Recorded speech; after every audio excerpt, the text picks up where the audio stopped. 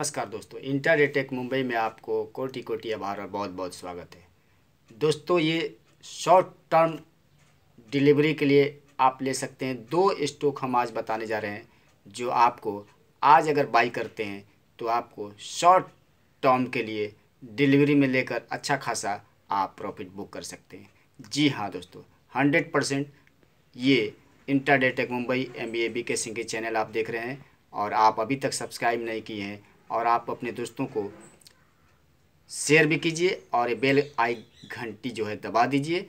और आप, चलिए हम हम आपको बता दें कि बजाज फाइनेंस बजाज फाइनेंस आज आप शॉर्ट टर्म डिलीवरी के लिए आप ले सकते हैं। अच्छा आपको इसमें लगभग सत्रह परसेंट का मार्जिन आपको बहुत जल्दी दो चार दिन के अंदर आप अगर इसको आज ख़रीद लीजिए और आपको नेक्स्ट वीक बेच दीजिए। बहुत बढ़िया स्टॉक है, आपका कभी भी ये इसमें नुकसान नहीं होने वाला। दूसरा, state bank of India, SBI भी आप शॉर्ट टर्म के लिए ले सकते हैं। ये 540 के आसपास जाने वाला है दोस्तों, लेकर रख लीजिए। और ये डिलीवरी के लिए बहुत बढ़िया दोनों स्टॉक है। आज दिन भर हमारी नज़र इस पर रहेगी दोस्तों। जय हिंद, जय भारत बंदे मातरम।